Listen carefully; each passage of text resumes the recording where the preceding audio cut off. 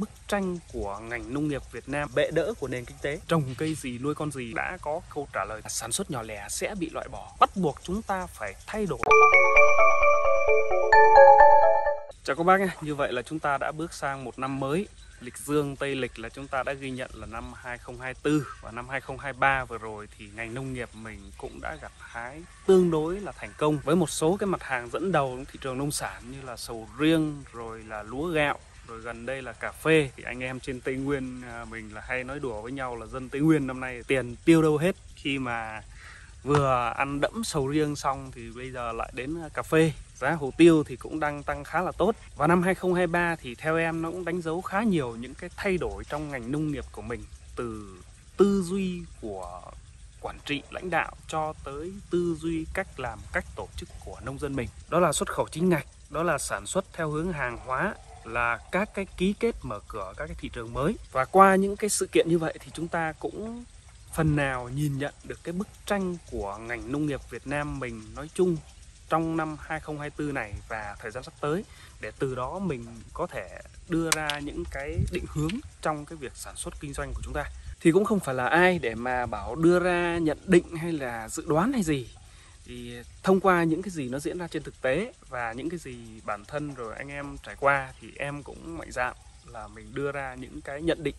trong cái nông nghiệp mình năm hai, năm nay và xuống sắp tới thì thứ nhất là cái lời giải cho cái câu hỏi trồng cây gì, nuôi con gì thì theo em bây giờ mình cũng đã có câu trả lời tương đối rồi đó. Thì trồng cây gì, nuôi con gì bây giờ nó chính là cái nhóm những mặt hàng đã và đang xúc tiến xuất khẩu chính ngạch. Gần ta thì có thị trường quen thuộc nhất là Trung Quốc thì cũng có đến 14 loại nông sản đã được đi chính ngạch như là thanh long, nhãn, chôm chôm, xoài, mít, dưa hấu, chuối, măng cụt. Và sắp tới sẽ có nhiều cái mặt hàng nữa đang được đàm phán ký kết như là dừa tươi, bơ, các cái loại trái cây đông lạnh, rồi na, rồi là dược liệu đông y vân vân.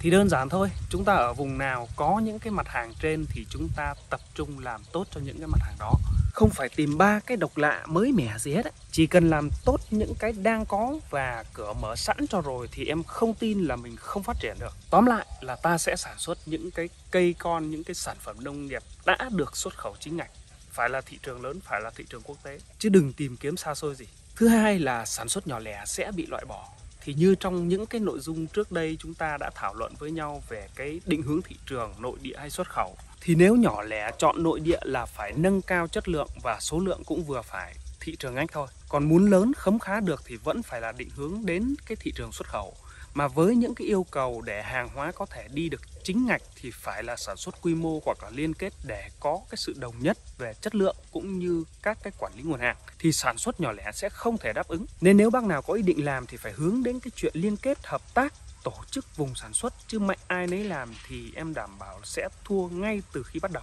Thứ ba là thương mại trung gian nhỏ lẻ, nhất là buôn bán vật tư đầu vào cũng như là thu gom nông sản đầu ra. Sẽ qua rồi cái giai đoạn mở một cửa hàng đại lý vật tư nông nghiệp là ăn nên làm ra. Vì từ cái yêu cầu của thị trường nhập khẩu nông sản dẫn đến thay đổi về hình thức tổ chức sản xuất thì mô hình bán hàng nó cũng thay đổi theo. Cộng với sự phát triển của việc tiếp thị tiếp cận thông tin của người dùng mạng mẽo khắp nơi thì các cái công ty sản xuất phân phối vật tư như là phân bón, thuốc bảo vệ thực vật, thiết bị này nọ họ sẽ phải thực hiện các cái thao tác tiếp thị đến từng người nông dân và sẽ phải tiếp cận trực tiếp với các cái quy mô như hợp tác xã doanh nghiệp sản xuất với những chính sách tốt hơn thì khi đó các đại lý cửa hàng cấp 2, cấp 3 sẽ rất khó có thể kiếm lời từ việc lấy hàng bán ăn chênh lệch. Tất nhiên là ở một mức độ nào đó thì các bác mình vẫn sẽ lấy lất kiếm ăn được hoặc theo các cái hình thức là nhà mà có mặt tiền ấy, làm kho ký gửi cho các công ty. Và một khía cạnh khác của trung gian nhỏ lẻ mà theo em sẽ bị ảnh hưởng và mình phải thay đổi đó là anh em thương lái thu gom nông sản đầu ra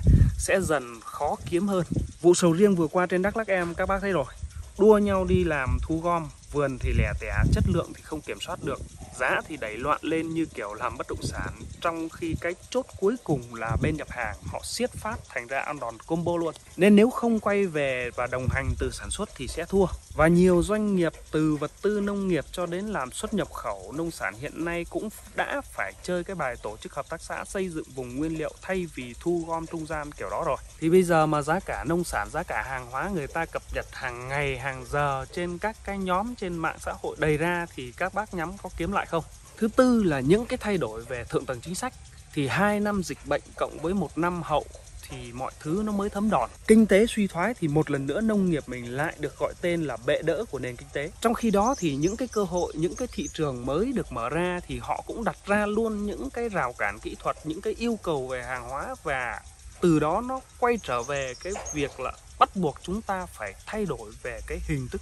tổ chức sản xuất, phương thức liên kết này nọ. Và để làm được điều đó thì cách thượng tầng chính sách phải thay đổi. Thì mình cũng thấy thời gian qua các chính sách từ luật cho đến triển khai mô hình của phía nhà nước đã rất tích cực và mang lại những cái dấu hiệu tốt để tháo gỡ các cái vướng mắc trong phát triển sản xuất kinh doanh trong cái lĩnh vực nông nghiệp. Và các bác trung ương mình làm tương đối kỹ. Thì các bác mình theo dõi thời sự thì cũng biết rồi hiện nay là luật đất đai luật tín dụng luật uh, hợp tác xã là đang được thảo luận sửa đổi để mà sắp tới đây khi ban hành nó đi vào thực chất giải quyết được những cái cái vấn đề cụ thể nhất, tránh cái trường hợp có luật mà không áp dụng được nên với những cái điều chỉnh về mặt thượng tầng vĩ mô này thì em tin sẽ có một sự thay đổi rất lớn trong cái ngành nông nghiệp mình. Thì trên đây em cũng mạn phép đưa ra một số cái nhận định như vậy và những cái kế hoạch sắp tới của tụi em cũng sẽ có những cái điều chỉnh theo cái thời thế định hướng của thị trường thôi. Còn theo các bác thì sẽ có những cái thay đổi nào nữa trong cái nông nghiệp của ta hiện nay thì mình cùng nhau thảo luận. Cuối cùng thì xin chúc các bác và gia đình mạnh khỏe, thành công và gắn kết,